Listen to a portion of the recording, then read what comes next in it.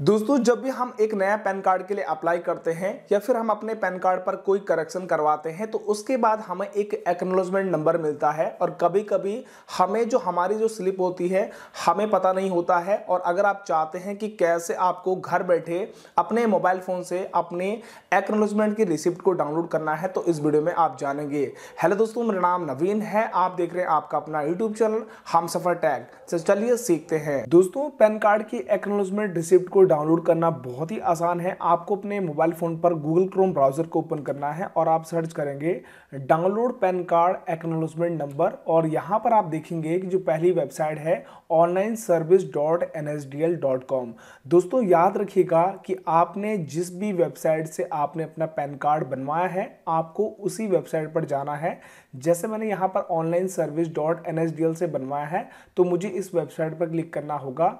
हो सकता है कि आपने किसी अदर वेबसाइट जैसे कि यूटीआई की वेबसाइट है, आपने यहाँ से बनवाया हो तो आपको इसी वेबसाइट पर जाना होगा। तो चलिए हम इस वाली वेबसाइट पर क्लिक करते हैं, जहाँ से मैं अपना पैन कार्ड बनवाया था। और याद रखिएगा, अगर आपने अपना पैन कार्ड किसी साइबर कैफ़े से बनवाया है, या फिर हो सकता है आपने किसी सीएससी पॉइंट यानी कि जन सेवा केंद्र पर जाकर अपना पैन कार्ड बनवाया है तो अगर आपने किसी और के थ्रू यहाँ पर पैन कार्ड बनवाया है तो आपको उनको बताना पड़ेगा कि आपका पैन कार्ड का एक्नोलॉजमेंट वो आपको दे देंगे। और यार गाइस आप एक चीज़ भूल जाते हो वीडियो को लाइक करना तो यार, फटाफट से एक लाइक ज़रूर कर दो। अब यहाँ पर आप देखेंगे, सबसे पहले यहाँ पर पैन कार्ड नंबर आ रहा है तो अभी हमें अपना पैन नंबर नहीं पता तो यहाँ पर आपको एक्नोलॉजमेंट नंबर का एक ऑप्शन नज़र आ रहा है तो यहाँ पर आपको सबसे पहले एक्नोलॉजमेंट नंबर टाइप करना है और यहाँ पर आपको अपना डेट ऑफ़ बर्थ का मंथ टाइप करना है और आपको ईयर टाइप करना है और इस कैप्चा को आप फिलअप करेंगे और यहाँ पर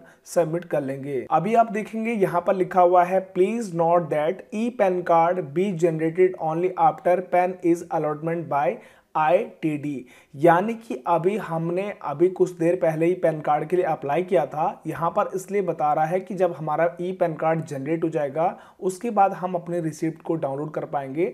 तो दूसरा तरीका एक्नोलॉजमेंट डाउनलोड करने का ये है दोस्तों कि आपको यहाँ पर जो है सबसे पहले आपको वेबसाइट पर जाना है।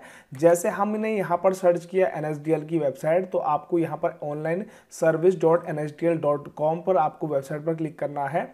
और यहाँ पर आप देखेंगे कि अप्लाई ऑनलाइन के सामने आपको बगल में रजिस्टर यूज़र पर क्लिक करना है और यहाँ पर जब आपने पैन कार्ड अप्लाई किया होगा तो यहाँ पर आपको एक टोकन नंबर मिला होगा। तो टोकन नंबर आप यहाँ पर फिलअप करेंगे और यहाँ पर आपको सबसे पहले अपना ईमेल आईडी एंटर करना होगा, जो भी आपने पैन कार्ड अप्लाई करते हुए टाइम दिया था और यहाँ पर आपको अपना डेट ऑफ़ बर्थ को आपको सेलेक्ट करना है। इस कैप्चा को यहाँ पर फिलअप करेंगे और सबमिट पर क्लिक कर देंगे। अब दोस्तों, आप देख पाएँगे यहाँ पर ये यह हमारी रिसिप्ट है, चाहे तो हम यहाँ पर पासवर्ड अपना एंटर करके जो हमारा डेट ऑफ़ बर्थ है, उसको फिलअप करेंगे और हमारा ये ओपन हो जाएगा। चाहे तो आप डायरेक्टली डाउनलोड पीडीएफ पर क्लिक करेंगे और यहाँ पर आपका एक्नोलॉजमेंट रिसिप्ट यहाँ पर डाउनलोड हो जाएगी। आपको सिंपल क्लिक करना है। और दोस्तों, अगर आप हमेशा कुछ नया सीखना चाहते हैं तो चैनल को यार सब्सक्राइब करके यहाँ पर बेल आइकन को ऑल पे ज़रूर प्रेस करके रखिएगा, ताकि फ्यूचर में जब भी आप हमारी वीडियो देखें तो आपको नोटिफिकेशन मिल जाए सबसे पहले। और अपना डेट ऑफ़ बर्थ आपको यहाँ पर फिलअप करना होगा। क्लिक करते ही आप देखेंगे, यहाँ पर अब आपका